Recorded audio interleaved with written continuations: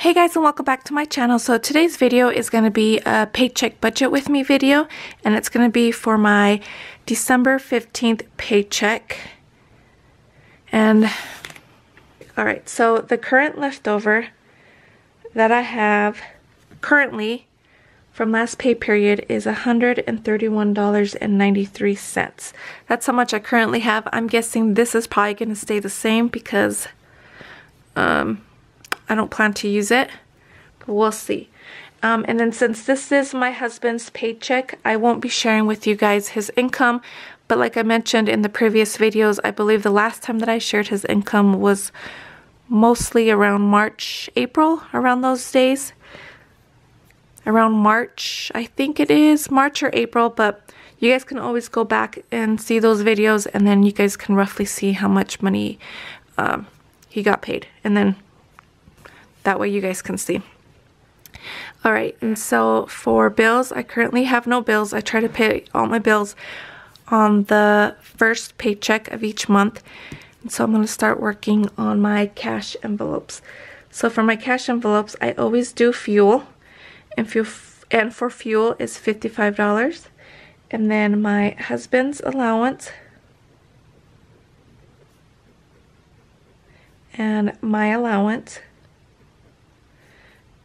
these are both $20 each.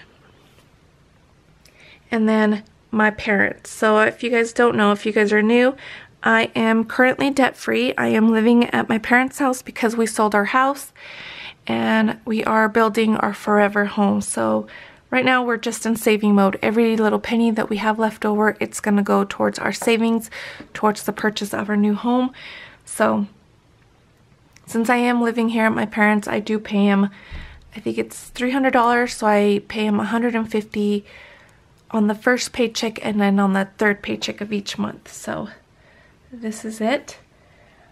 Um, the next one is my stockpile. And also, if you guys are new, my stockpile is, I'm starting a little stockpile. That way when we do move into our house, we have a little stockpile going of laundry detergent, dish soap, um, shampoo, anything that's not going to go bad we have a little stockpile going. So I am going to do $30. And the next one, a haircut. I actually want to cut my hair. But, um, so this is why this is it. A haircut is for me, and I think my youngest boy needs a haircut as well. So we're just, I'm just going to save up. I don't know when I'm going to plan on cutting my hair. I don't know, maybe for the new year. We'll see. Okay, so I have 55 plus 20 plus 20 plus 150 plus 30 plus 20 is a total of 295. Ah. Okay. And then for my sinking funds, I'm going to zoom you guys in so you guys can see. I have my house fund and just what my house fund is this money is going to go towards, we need furniture. Um, what else? Furniture. I know I sold my kids' bed, so my kids need beds. Let's see, kitchen table, stuff like that that we may need once we move in. So that this is why I'm saving that. And then family fun. And for family fun, I'm going to do 25. And then back to school and this is for back to school for next year. And I think I am gonna bump it up and I'm gonna do $60 okay and then pet. Pet is 50 I still haven't got an appointment. I think I should because my husband will be off for the next I think next week. So if we can get him in between those days that he's off I think that would be good. So it's 270 that I need to take out for my sinking funds.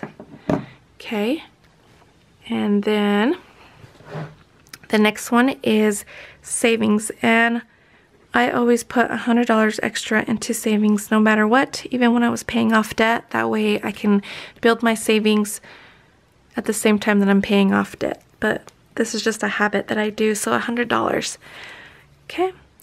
So this is it for this video. If you guys want to see exactly how much money I pull out for my cash envelopes and sinking funds, then I suggest you watch the video. I think I'm going to post it on Wednesday for my, and that video will be my um, cash stuffing video where I will cash stuff my envelopes and then you guys can see the totals amount that I have for each category. But this is it for this video. Oh, also, if you guys didn't see the previous video, I announced the winner of the new Budget by Paycheck workbook by the Budget Mom. And basically, it's the workbook with these inserts. Um, if you haven't seen it, um, go check it out. That way you guys can see who won. But yeah, but this is it. Um, comment down below if you have any questions. Don't forget to subscribe if you want to follow me in this journey, and I will see you next time. Bye.